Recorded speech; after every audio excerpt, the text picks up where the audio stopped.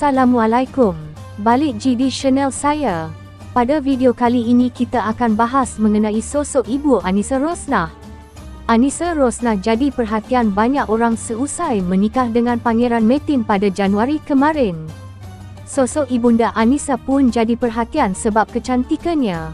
Diketahui ibu Anissa Rosnah merupakan anak dari Pehin Datu Isa yang merupakan orang kerajaan yang menjabat sebagai penasihat khusus kerajaan.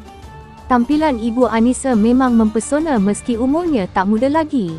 Hal ini dibuktikan pada salah satu foto ketika kakak Anissa iaitu Daniel Issa Kalebik menikah dengan janetira pengusaha asal Thailand. Dikutip dari akun Instagram Royal Garis Bawah Skandal Garis Bawah Diamond Garis Bawah Akak Anisha dengan ibundanya, abangnya Ed Daniel plus kakak iparnya Ed Janetira, dari foto-foto yang admin perlihatkan terlihat kedekatan Anisha dengan Jen Plus, abangnya Daniel juga merupakan teman terbaik untuknya.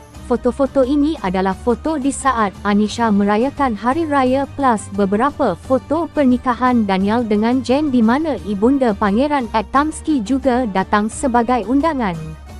Wah emang di umur segini ibunda Anissa masih cantik eja. Apalagi masa mudanya pasti lebih cantik. Okey sekian dulu video dari saya.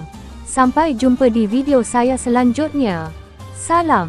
Keluarga yang cantik sekali, ibunda Anisha juga sangatlah cantik dan Anisha dapat gen bagus dari ayah dan ibunya Daniel lebih mirip ibunya namun Anisha dapat kecantikan khas ibundanya.